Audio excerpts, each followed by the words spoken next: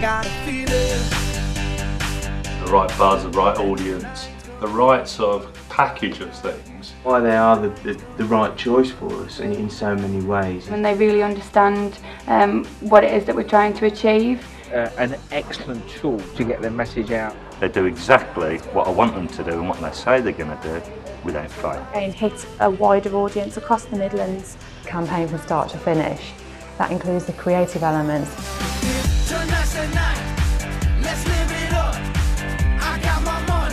But I think it's not just about the radio, I think it's the whole offer from Orion that, that we do get, uh, such as the online uh, element and also the, the sort of the, the, promotions. We're very much advised in terms of where should we be looking for new customers, what's the trends, what are people doing. Very good at hitting that target market at the most critical time. Fast turnaround times. It brings uh, some of our campaigns to life, but it catches attention.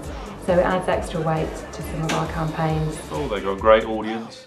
Uh, they're constantly thinking of new ideas. Really proactive, so they'll come to us with ideas. Put us in touch with new customers. We get a very good response from the public in relation to that we heard you on the radio. That with radio we can be quite creative, perhaps more so than with press advertising. What we see is a radio campaign going out there, the bookings start coming in.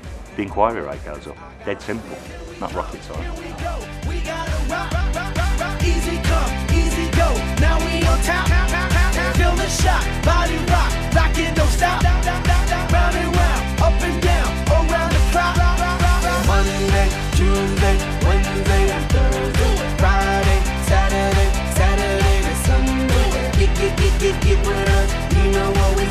day, party every day, pop, pop, pop, party every day, and I'm feeling